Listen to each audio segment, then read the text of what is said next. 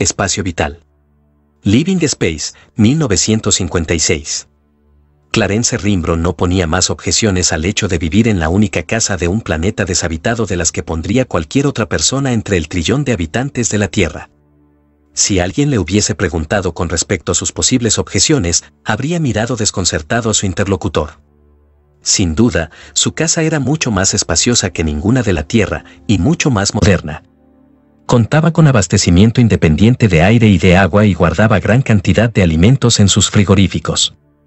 Se hallaba aislada del planeta sin vida al cual la fijaba un campo de fuerzas, pero las habitaciones se alzaban junto a una granja de dos hectáreas, bajo cristales, desde luego, la cual, gracias a la benéfica luz solar, daba flores para el placer y vegetales para la salud hasta criaba unos cuantos pollos.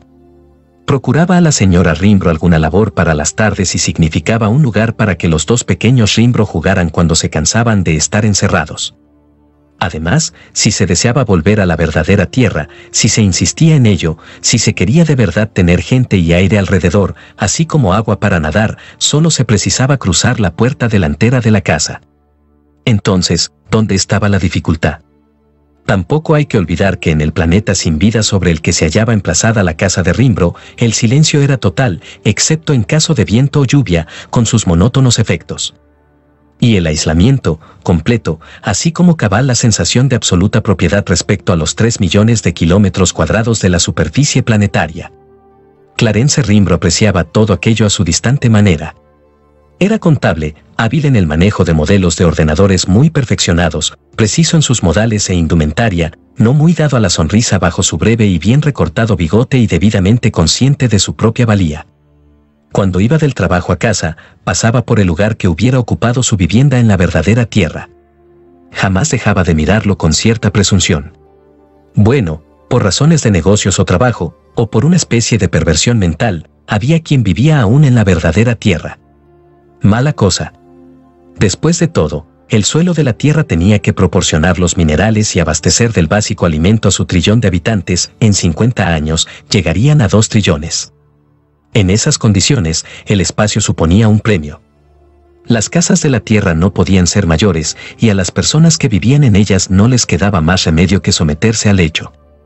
Incluso el proceso de regresar a la suya encerraba un suave placer penetraba en el disco comunitario que le estaba asignado y que semejaba más bien, como todos ellos, un achaparrado obelisco e invariablemente hallaba a otros que esperaban para utilizarlo. Y aún llegarían más, antes de que él alcanzara el extremo de la línea. Se trataba de una época sociable. ¿Cómo es su planeta? ¿Y cómo es el suyo? La acostumbrada charla intrascendente. A veces, alguien tropezaba con problemas averías en la maquinaria o tormentas que alteraban desfavorablemente el terreno. Pero no a menudo. Así pasaba el tiempo y Rimbro llegaba a la cabeza de la línea. Metía su llave en la ranura, componía la debida combinación y entraba en una nueva pauta de probabilidad, la suya particular, la que se le había asignado cuando se casó y se convirtió en ciudadano productor, una pauta de probabilidad en la cual la vida no se desarrollaba nunca en la Tierra y girando hacia su particular tierra sin vida, penetraría en su propio hogar. Simplemente así. Jamás se preocupaba de las demás probabilidades. A santo de que no les concedía ni un solo pensamiento. Había un número infinito de posibles tierras, cada una de las cuales existía en su propio nicho, en su propia pauta de probabilidad. Puesto que, en un planeta como la Tierra, había según los cálculos alrededor de un 50% de posibilidades de que se desarrollase la vida, la mitad de las posibles tierras, infinitas, puesto que la mitad de infinito es igual a infinito, poseían vida, y la otra mitad, asimismo infinita, no la poseían. Y el vivir sobre unos 300 billones de tierras desocupadas suponía la existencia de 300 billones de familias, cada una de ellas con su propia y magnífica casa, equipada con la energía suministrada por el sol de esa probabilidad, y cada una de ellas en paz y seguridad. El número de tierras así ocupadas se incrementaba en millones a diario. Cierto día, cuando Rimbro regresó al hogar, su esposa, Sandra, le dijo al entrar. He oído un ruido de lo más peculiar. Se alzaron las cejas de Rimbro, en tanto miraba inquisitivo a su mujer. Aparte de cierto temblor en sus delgadas manos y cierto decaimiento reflejado en las comisuras de su apretada boca, parecía normal. ¿Ruido? ¿Qué ruido? Yo no oigo nada. Se detuvo, con el abrigo a medio camino del criado mecánico, que lo esperaba pacientemente. Ahora ha cesado, explicó Sandra. Era como un golpeteo sordo o como un retumbar. Se oía un rato y luego se detenía, para volver de nuevo y cesar otra vez. Jamás había oído nada por el estilo. Rimbro colgó el abrigo y dijo. Pero eso es completamente imposible. Te digo que lo oí. Examinaré la maquinaria, murmuró él. Puede que algo funcione mal. Sin embargo, sus ojos expertos no descubrieron nada en ella. Encogiéndose de hombros, se fue a cenar. Escuchó el zumbido de los criados mecánicos entregados a sus diversas tareas, se detuvo a contemplar al que secaba los platos y ordenaba la cubertería y comenté, frunciendo los labios. ¿Acaso alguno de estos artilugios esté mal ajustado? Lo repasaré. No fue nada semejante a eso, Clarence. Rimbro se acostó sin preocuparse más por la cuestión. Se despertó al sentir la mano de su mujer que le sacudía por el hombro tendió la suya hacia el conmutador que conectaba la iluminación de las paredes. ¿Qué sucede? ¿Qué hora es? Ella meneó la cabeza. Escucha. Escucha. Santo Dios. Pensó Rimbro. En efecto, hay un ruido. Un rumor sordo o una especie de ronquido que se intensificaba y se desvanecía. Un temblor de tierra. Murmuró. Desde luego, pensó, de vez en cuando se producía alguno en todos los planetas, aunque por regla general se evitaban las zonas expuestas a ellos. ¿Hubiera durado todo el día? Preguntó malhumorada Sandra. Me parece que se trata de algo distinto. Y luego manifestó el secreto terror de toda ama de casa nerviosa, creo que hay alguien en el planeta con nosotros. Este mundo está habitado. Rimbro hizo lo único que lógicamente cabía hacer. Al llegar la mañana, llevó a su esposa e hijos a casa de su suegra. Y en cuanto a él, se tomó también un día para ir a la oficina de alojamiento del sector. Aquella cuestión le tenía muy fastidiado. Bill Ching, de la oficina de alojamiento, era de baja estatura, jovial y orgulloso de su ascendencia en parte mongólica. Pensaba que las pautas de probabilidad habían solucionado hasta el último de los problemas. Alec Misnov, de la misma oficina, creía en cambio que significaban un cepo en el que había sido atrapada la humanidad de modo irremediable. En su juventud se había especializado en arqueología, estudiando una serie de temas antiguos, de los que continuaba atiborrada su delicadamente equilibrada cabeza. Su rostro lograba parecer sensitivo a pesar de sus espesas cejas acariciaba una idea que hasta entonces no se había atrevido a compartir con nadie, aunque su preocupación por ella le había apartado de la arqueología y metido en la cuestión del alojamiento. A Ching le gustaba decir, al diablo con Molses. Venía a ser su marca de fábrica. Sí, al diablo con Molses, dijo una vez más. Probablemente hemos llegado al límite de la superpoblación. Por muy deprisa que nos dupliquemos y redupliquemos, el horno sapiens forma siempre un número finito y los mundos deshabitados son infinitos. Por lo demás, no hay razón para construir solo una casa en cada planeta, podemos construir cien, mil, un millón. Contamos con mucho espacio y mucha energía para cada probabilidad solar. ¿Más de una casa en cada planeta? Repitió Misnov en tono desabrido. Ching sabía muy bien a qué se refería. Cuando se habían establecido las pautas de probabilidad, la propiedad exclusiva de un planeta constituyó un poderoso incentivo para los primeros colonizadores. Era una idea atrayente para el esnovismo y la tendencia al despotismo que existían en cada cual. No hay hombre tan pobre, rezaba el eslogan publicitario, como para no poseer un imperio tan grande como Genghis Khan. Anunciar una colonización múltiple supondría una afrenta para todo aquel que se estimara en algo. Ching se encogió de hombros. Bueno, requeriría una preparación psicológica previa. Es lo único que se precisa para poner en marcha todo el asunto. ¿Y la alimentación? Ya sabe que estamos instalando explotaciones hidropónicas y plantas de cultivo de levaduras en otras pautas de probabilidad. Y de necesitarlo, podríamos cultivar su suelo. Usando ropa especial e importando oxígeno. Nos cabe el recurso de reducir el dióxido de carbono mediante el oxígeno hasta que las plantas prendan y actúen por sí mismas calcule un millón de años. Misnov, la pega con ustedes que lee demasiados libros de historia antigua. Eso le inspira tendencias obstruccionistas. Pero Chin tenía demasiada buena pasta para decir aquello en serio, y Misnov continuó con sus libros y sus preocupaciones. Anhelaba que llegase el día en que, tras reunir el valor necesario, acudiría al director de la sección para exponerle sin rodeos, como un escopetazo, lo que le causaba tanta desazón.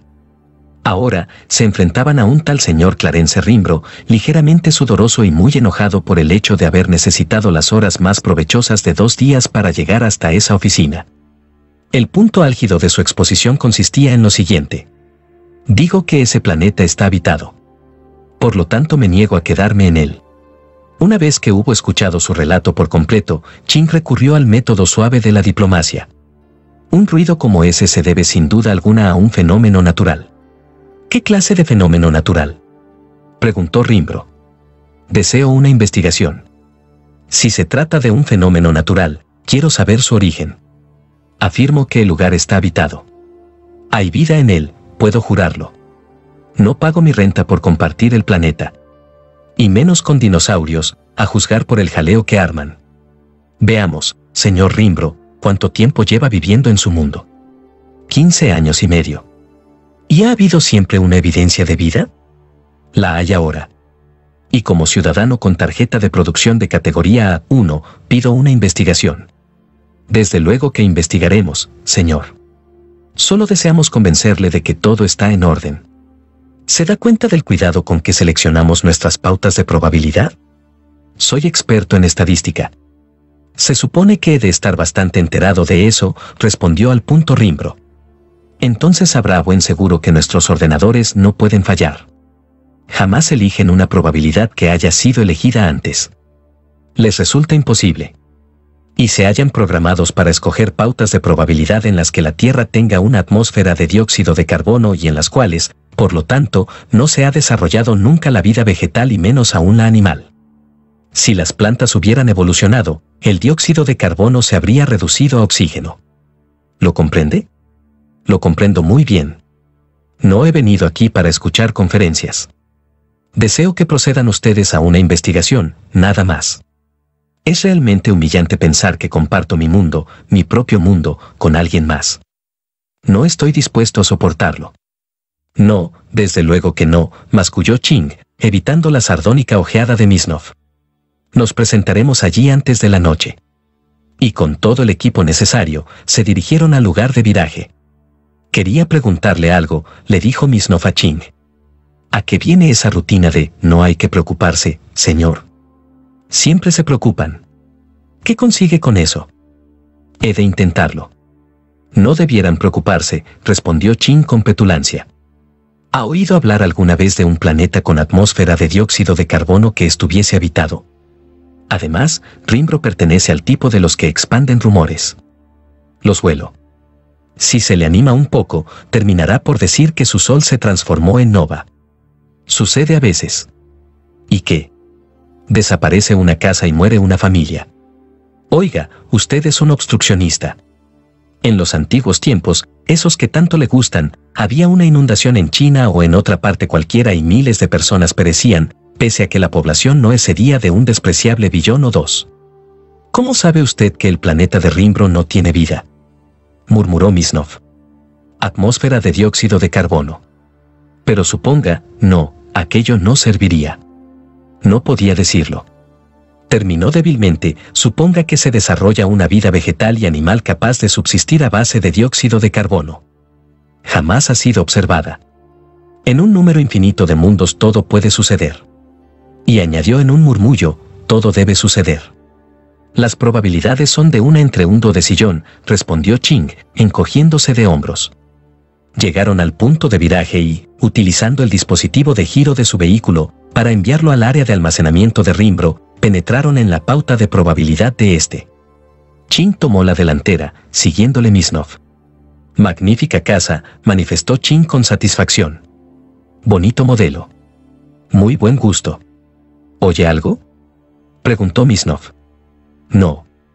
Ching entró en el huerto. Vaya. Gritó. Gallinas rojas de Rhode Island. Misnov le siguió, mirando el techo de cristal. El sol presentaba el mismo aspecto que el de un trillón de otras tierras. Dijo con aire ausente. Tal vez haya vida vegetal naciente. Tal vez la concentración de dióxido de carbono empiece a disminuir. El ordenador no lo advertiría. Y habrían de transcurrir millones de años antes de que la vida animal se organizara y algunos millones más antes de que emergiera del mar. ¿Y por qué tendría que seguir ese proceso? Ching pasó un brazo por los hombros de su compañero. Rumia usted demasiado, le reconvino.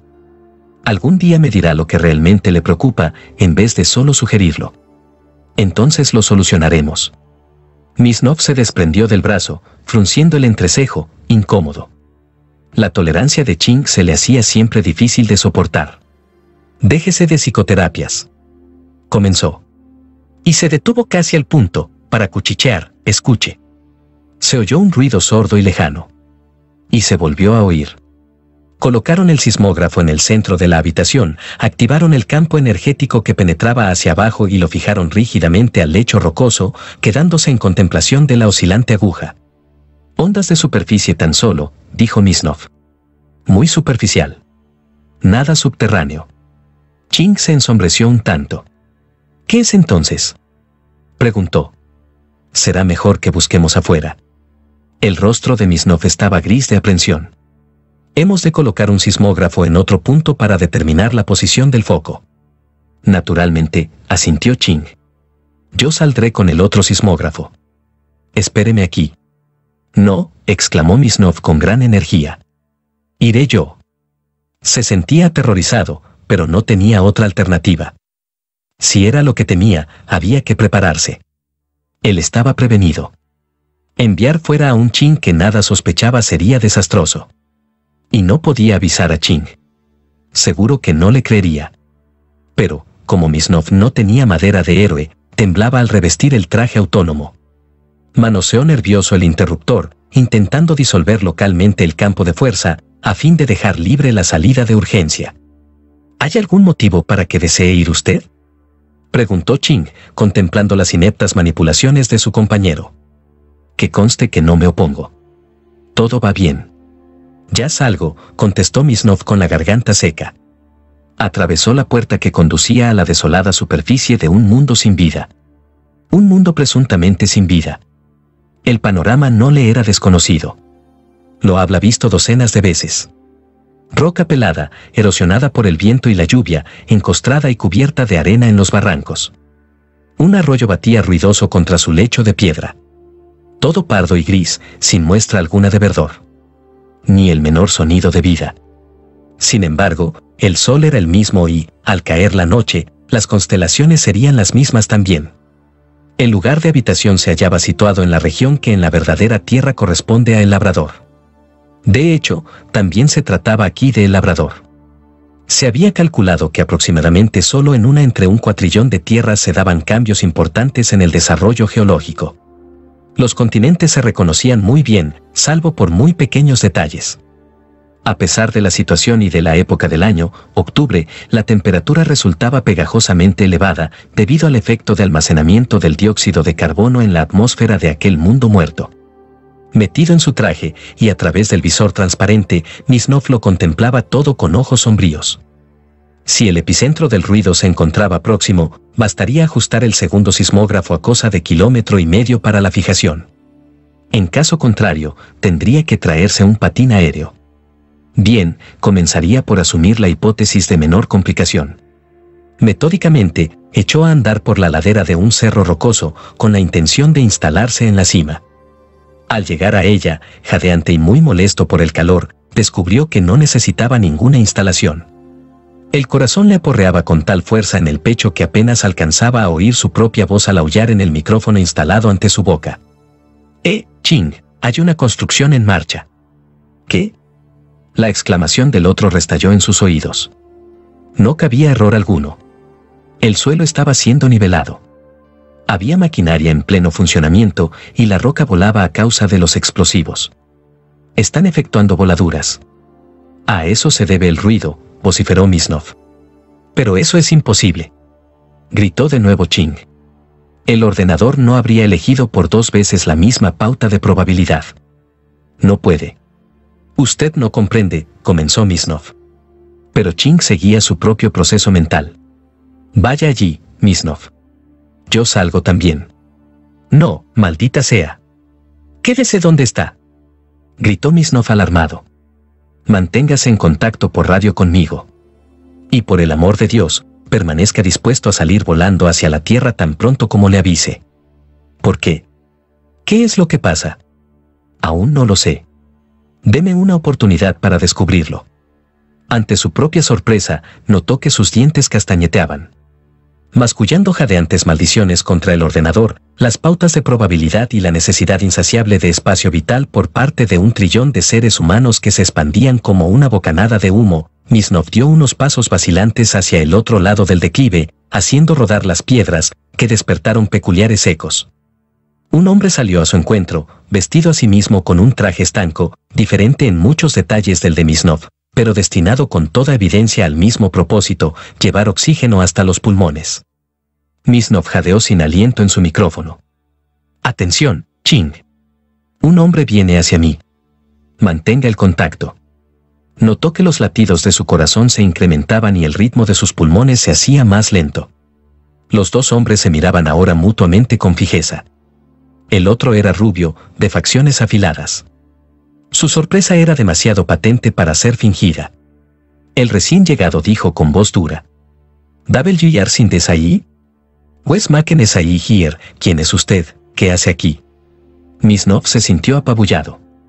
Había estudiado el alemán antiguo durante dos años, en la época en que esperaba dedicarse a la arqueología, y comprendió la pregunta, pese a que la pronunciación difería de la que le enseñaran tartamudeó estúpidamente. Sprechen es Deutsch, habla usted alemán. Y acto seguido hubo de murmurar algo tranquilizador con destino a Ching, cuya agitada voz preguntaba qué significaba aquel galimatías. El hombre que hablaba alemán no respondió a su pregunta, sino que repitió. Dabel sin ahí, ¿quién es usted? Y añadió con impaciencia, Hier ist Furein en Berruchten Spaske No tenemos tiempo para bromas estúpidas. Tampoco a Misnov le daba la impresión de enfrentarse a una broma particularmente estúpida. Sin embargo, volvió a preguntar. Sprechen es ahí planetisch, habla usted planetario.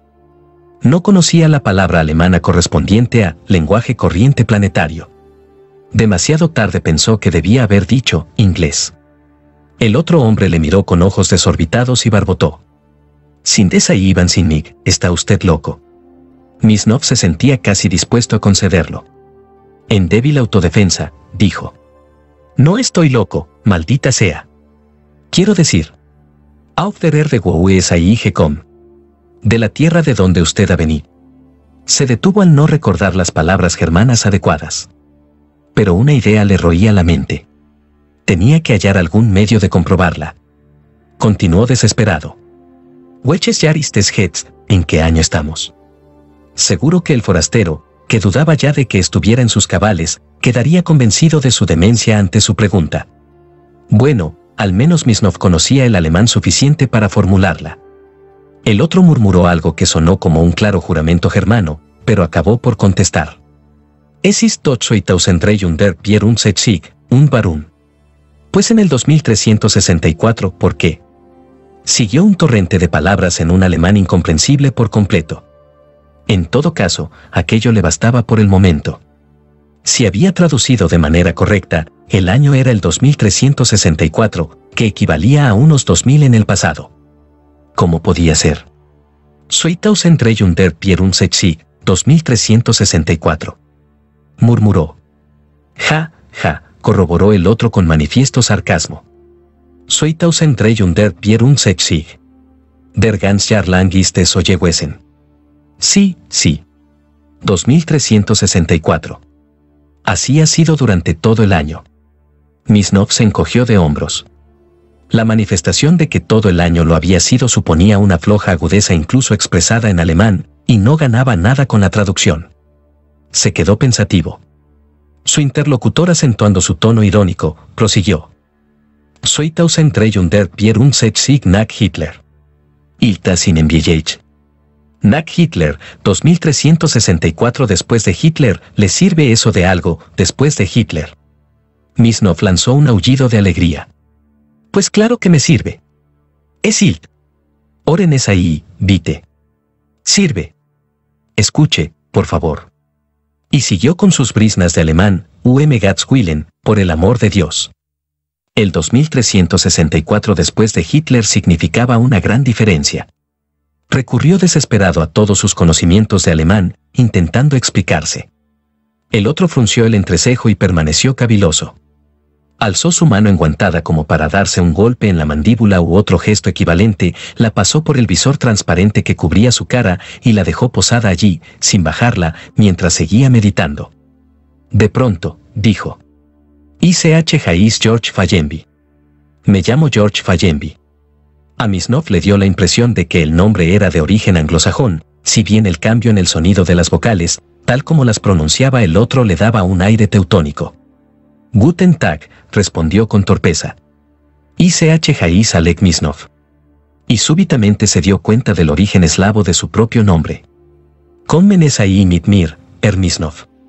Venga usted conmigo, señor Misnov.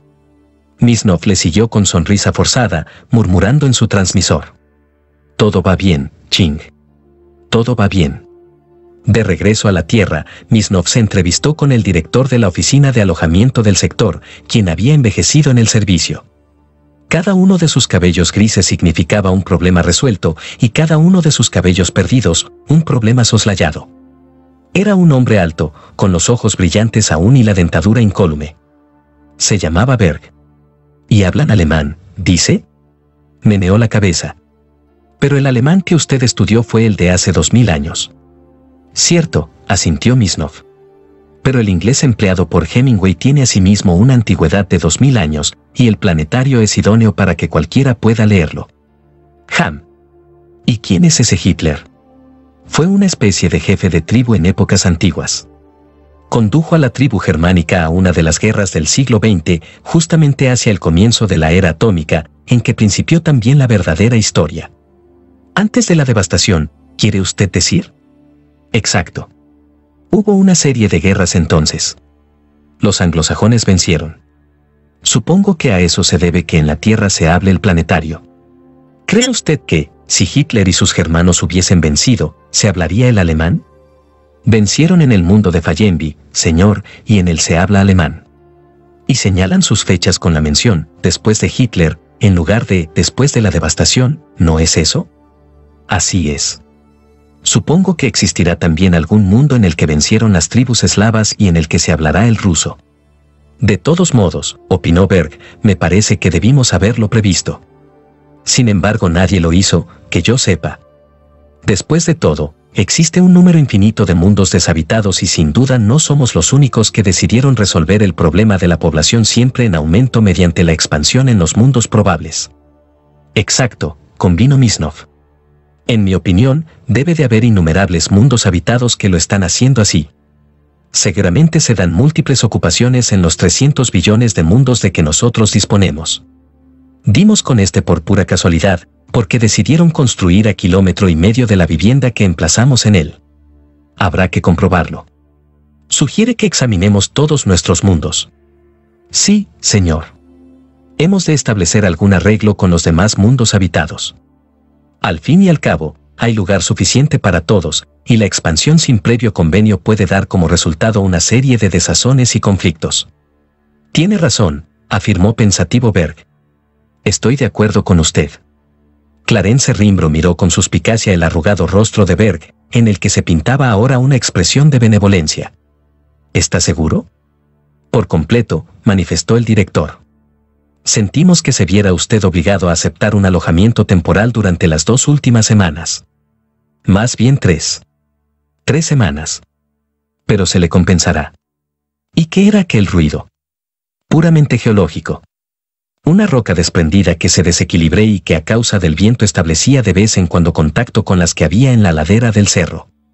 Ya la hemos desplazado y examinado la zona para asegurarnos de que nada semejante vuelva a ocurrir. Rimbro recogió su sombrero. Bien, gracias por haberse tomado la molestia. No se merecen, se lo aseguro, señor Rimbro. Es nuestro trabajo. Una vez que Rimbro se despidió, Berg se volvió a Misnov, quien había esperado en plan de espectador a que se solventara el asunto. Menos mal que los germanos se pusieron a tono, dijo Berg. Admitieron que teníamos prioridad y despejaron el terreno. Hay espacio para todos, dijeron. Naturalmente, resultó que habían construido cierto número de viviendas en cada mundo desocupado. Y ahora existe el proyecto de explorar otros mundos y establecer convenios similares con quienes encontremos en ellos. Esto es estrictamente confidencial, claro. No puede ponerse en conocimiento del público sin una preparación previa. Pero no era de esto de lo que quería hablarle. Ah, no. El desarrollo de los acontecimientos no le había alegrado de manera visible. Seguía preocupándole su propio fantasma. Berg le sonrió. Comprenderá usted, Miss Nov, que en este departamento y también en el gobierno planetario se ha apreciado la rapidez de pensamiento y su comprensión de la situación. De no haber sido por usted, la cuestión podría haber evolucionado de manera muy trágica. Y este aprecio tomará forma tangible. Gracias, señor. Sin embargo, como ya he dicho, se trata de algo en lo que muchos de nosotros debimos haber pensado antes. ¿Cómo se le ocurrió? Hemos repasado un poco sus antecedentes. Su compañero Ching nos dijo que ya en otras ocasiones había sugerido usted que algún grave peligro amenazaba nuestro sistema de pautas de probabilidad y que insistió en salir al encuentro de los germanos a pesar de hallarse evidentemente atemorizado. Preveía con lo que se iba a encontrar, ¿no es eso? ¿Cómo lo descubrió? No, no, respondió confuso Misnov. No era eso lo que había en mi mente. En absoluto. Me cogió de sorpresa. Yo. Se irguió de pronto. ¿Por qué no ahora? Le estaban agradecidos. Había demostrado ser un hombre con el que había que contar. Algo inesperado había sucedido ya. Se trata de algo muy distinto, dijo con firmeza. Ah, ¿sí? ¿Cómo empezar? No hay vida alguna en el sistema solar, a excepción de la Tierra. Exacto, asintió Berg en tono benévolo. Y la probabilidad de que se desarrolle alguna forma de viaje interestelar es tan baja como para resultar infinitesimal. ¿A dónde pretende llegar? A que todo eso es cierto en esta probabilidad. Pero ha de haber algunas pautas de probabilidad en que existan en el sistema solar otras formas de vida o en las cuales los moradores de otros sistemas hayan desarrollado los viajes interestelares. Bert frunció el entrecejo. Teóricamente. Y en una de esas probabilidades, la Tierra podría ser visitada por tales inteligencias. Si se da el caso en una pauta de probabilidad en que la Tierra se haya habitada, no nos afectaría, pues no tendrían conexión con nuestra propia Tierra. Pero si establecen una especie de base en un mundo deshabitado, pueden elegir al azar uno de nuestros lugares de habitación.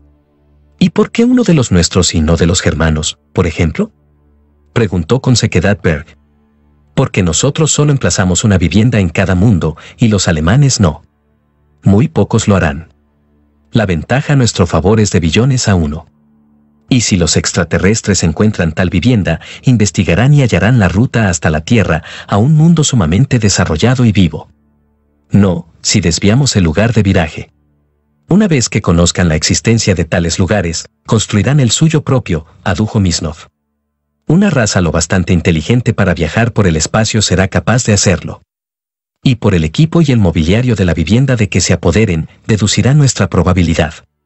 Y en tal caso, ¿cómo manejaríamos a los extraterrestres? No son germanos, ni otra clase de terrestres. Tendrían una psicología extraña a la nuestra y otras motivaciones.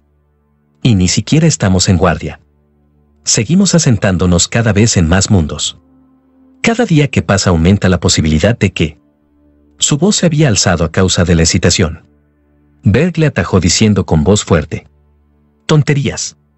Todo eso es ridículo. Sonó el teléfono y la pantalla se iluminó mostrando el rostro de Ching, cuya voz dijo. Siento interrumpir, pero... ¿Qué sucede? Preguntó furioso Berg. Hay un hombre aquí que no sé cómo despachar. Se queja de que su casa está rodeada por cosas que miran a través del techo de cristal de su jardín. ¿Cosas? gritó Misnov. Unas cosas de color púrpura, con grandes venas rojas, tres ojos y una especie de tentáculos en vez de cabello. Tienen. Pero Misnov y Berg no oyeron el resto. Se miraban con fijeza, inmovilizados en un estupefacto horror. Fin del relato.